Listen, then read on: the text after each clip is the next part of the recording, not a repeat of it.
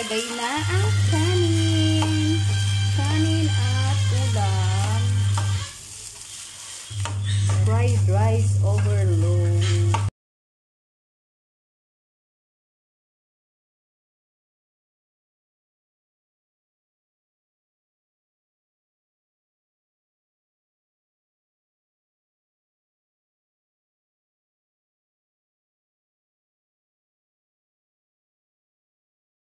Painitin ng kawali, lagyan ng oil.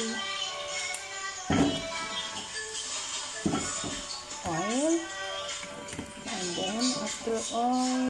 Okay, so ngayon okay na siya. Golden brown na yung bawang. Luto na siya. And then, chicken mix.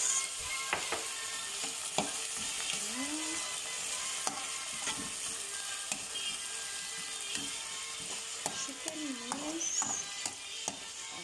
Okay, so ngayon okay na siya. Golden brown na yung bawang. Luto na siya. And then, chicken mix.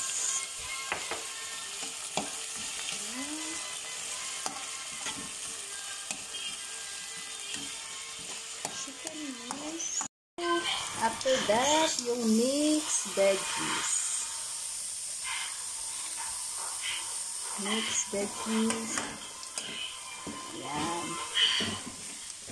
Ngayon, nilagyan ng pepper, black pepper, then seasoning for the taste. Then, tak, tak, tak, salt. Sa kabilang kawali, magprito ng egg.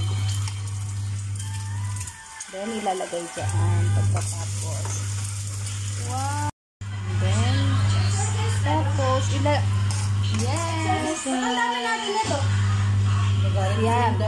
Fried rice. Fried rice. Ano? Oh, May ano ka pa, guys? may goose. Ah, pero siya Shanghai ako ha. Oh, sige. Shanghai ka. Isang rapper. May rapper tayo. Isa nga, dalawa dapat. Oo. Ilagay na ang kanin.